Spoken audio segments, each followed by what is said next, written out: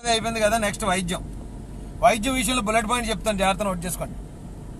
ఎన్టీఆర్ ఆరోగ్యశ్రీలో ఎవరైనా ఒకడు బ్రెయిన్ ట్యూమర్ ఉంది లేదా అపెండిసైడ్స్ ఉంది ఇలాంటి సమస్యలు కూడా వైద్యం చేయించుకోలేని పేదవాళ్ళు చాలామంది ఉన్నారు.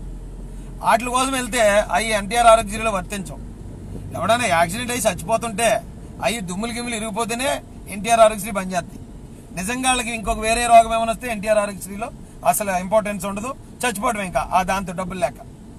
అలా పెట్టిన ఎన్టీఆర్ ఆరోగ్యశ్రీ కేవలం రెండున్నర లక్షలు దాటితే ఎంత డబ్బులైనా నువ్వే పెట్టుకోవాలి.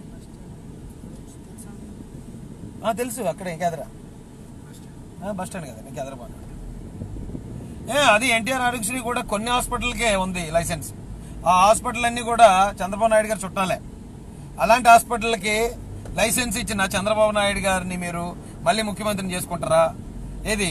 ఆరోగ్యాన్ని దూరం చేసి కార్పొరేట్ హాస్పిటల్ వాళ్ళ చుట్టాలతో పెట్టించి వాళ్ళ డాక్టర్లు కాదు వాళ్ళ చేత హాస్పిటల్ పెట్టించి గవర్నమెంట్ లైసెన్స్ వాళ్ళకి ఇచ్చి వేరే వేరే ఎక్కడి నుంచో డాక్టర్లు తీసుకొచ్చి రోగం ఉన్న లేకపోయినా ఆపరేషనే గవర్నమెంట్ ఇచ్చే డబ్బుల కోసం.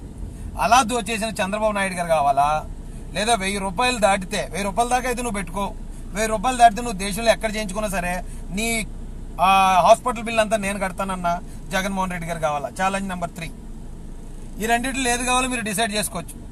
డిసైడ్ చేసుకుని నేను చాలా మంది అంటున్నారు రాజేష్ ఏదో ప్యాకేజ్ తీసుకున్నాడండి రాజేష్ ప్యాకేజ్ ఎక్కర్లే. జగన్మోహన్ రెడ్డి గారు చేస్తానన్న పనులు లాస్ట్ టైం చంద్రబాబు నాయుడు చేసి ఉంటే కనుక చూపించండి. నేను ఇప్పుడు చంద్రబాబు నాయుడు గారు వెనకాల వస్తాను అడుగు. కానీ ఇప్పుడు చేస్తానంటే మళ్ళీ నేను నమ్మను చంద్రబాబు నాయుడిని.